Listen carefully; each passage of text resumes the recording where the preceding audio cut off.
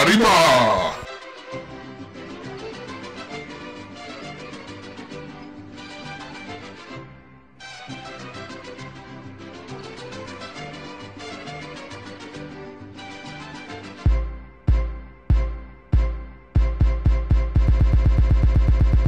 Holding stuff into place because I'm a cell membrane. Flexible and fluid for the cell while the chain. Selectively permeable, it lets stuff in and out. My phospholipid molecules will work without a doubt. Osmosis and diffusion require no energy. Thanks to my structure, I maintain their synergy. Everything important, yeah, it's inside. I got two personalities like Jekyll and Hyde. Personality number one, my water loving heads that point outwards with a tail like threads. Personality number two is a water hating tails, pointing inwards to stop its fatty nail. I got my glycoproteins to tell others who I am. I don't think I need it when blessing these jams. Arriba! Got my transport proteins for the big stuff. My phospholipids just aren't big enough. Analogy time.